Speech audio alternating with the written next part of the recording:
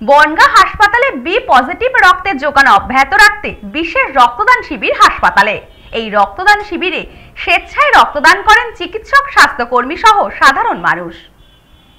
বনগা হাসপাতালে ব্লাড ব্যাংকে রক্তের যোগান অব্যাহত রাখতে সোশ্যাল মিডিয়ায় বনগাবাসীর কাছে আবেদন জানিয়েছিলেন হাসপাতালের ব্লাড ব্যাংকের আধিকারিক চিকিৎসক গোপাল পোদ্দার। এই আবেদনে সাড়া দিয়ে বনগা হাসপাতালে বুধবার অনুষ্ঠিত হল বিশেষ রক্তদান শিবির। এদিনের শিবিরে রক্তদান করেন হাসপাতালের চিকিৎসক, নার্স ওয়ার্ড বয় হাসপাতালের আয়ামাসি, হাসপাতালে নিরাপত্তা কর্মী ও বহু সাধারণ মানুষ।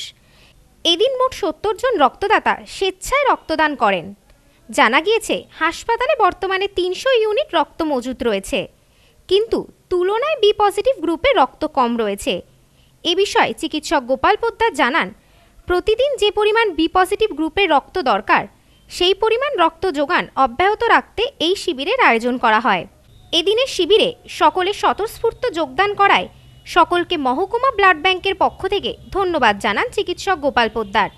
তিনি বলেন, আজকের আমার কাছে ওপেনিং স্টক টোটাল ব্লাড তিনশো ইউনিট আছে, তার মধ্যে পঞ্চান্ন ইউনিট বি পজিটিভ আছে। তা সত্ত্বেও আমরা আজকে একটা গ্রুপ স্পেসিফিক স্পেশাল ড্রাইভ দিয়েছি। তার কারণ সাধারণত বি পজিটিভ হচ্ছে thirty to thirty five percent of total stock থাকা উচিত।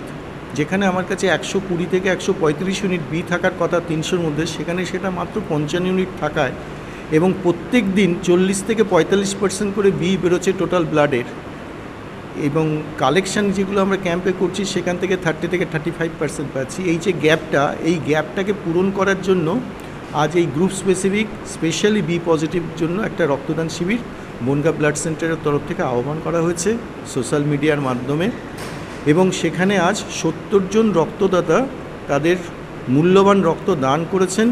বনগার হাসপাতালের ব্লাড ব্যাংকের ভাণ্ডারকে মজুত করতে, সমৃদ্ধ করতে সাহায্য করেছেন এবং আমরা এই রকম পরিস্থিতি পুজো উৎসব মরশুমের আগেও এই একই বি পজিটিভের একটা ক্রাইসিস তৈরি হয়েছিল গ্রীষ্মকালীনের সময়, এপ্রিল মাসে।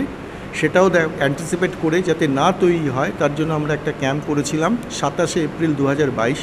সেখানে তিরাশি জন রক্তদাতা রক্তদান করেছিল। আমি আশা করেছিলাম এই উৎসবের সময় হয়তো পঞ্চাশ থেকে ষাট জন রক্তদাতা পাবো, কিন্তু সেখানে সত্তর জন রক্তদাতা স্ব ইচ্ছায় ব্লাড ব্যাংকের ডাকে যে রক্ত দিয়ে গেছেন, তার জন্য সকল বনগাবাসী এবং যারা আমাদের বিশেষভাবে সাহায্য করেছে, তাদের কাছে বনগা ব্লাড সেন্টারের তরফ থেকে আমরা অনেক ধন্যবাদ জানাচ্ছি। শুধু বনগাবাসী নয়, আমাদের হাসপাতালের তিনজন ডাক্তারবাবু, একজন সিস্টার, দুজন আয়ামাসি, দুজন ওয়ার্ড বয় এবং দুজন সিকিউরিটি গার্ডের রক্তদাতাও তাদের মূল্যবান রক্ত দান করেছে। আমি সকলের কাছে কৃতজ্ঞ। Bureau report, news no man's land Bangaon.